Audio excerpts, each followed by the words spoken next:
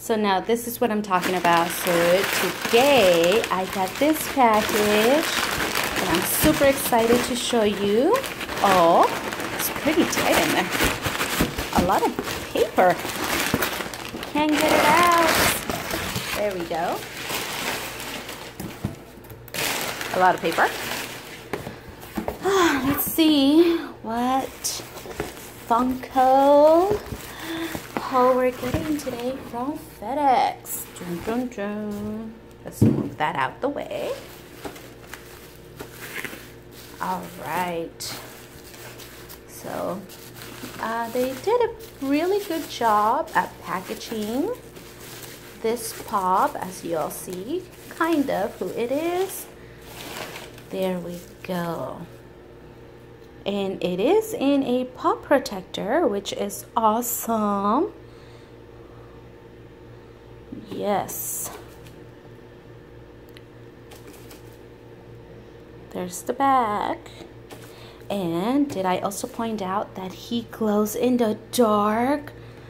Ah, it's 500 pieces. This pop is from the Funko headquarters grand opening which I was not able to attend. I was pretty bummed about it. They had great things out there. Unfortunately, just, you know, finishing Comic Con and having to travel again is a little bit out of my price range at the time. But I'm so excited to have gotten this guy. However, um, pretty expensive because, you know, you got to get it from eBay or whatever you can get your hands in to be able to purchase this little guy. Very well made pop. You see the little teeth. E drool coming down. See the little hands? I always look at the feet. I don't know why. They have good shoes. But yes. So guys, please give it a thumbs up. Let me know what you think. And subscribe to my channel super excited to have him. And like I said I was very bummed not to be able to go to the headquarters grand opening to get all of the exclusives. Pretty much a lot of them will be out of my price range. But what can you do? You you win some you lose some right? And everybody that made it out there you know good.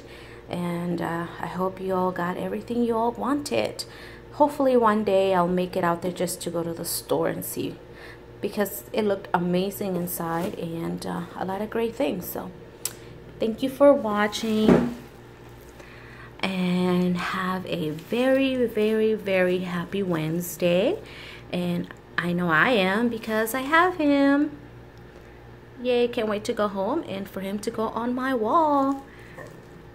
Thank you all for watching. Please subscribe. Give it a thumbs up and let me know what y'all think. Give me some comments. Oh, look at that. Woohoo! Thank you all. Until next time, next time, next time. I'm just being dumb. Bye.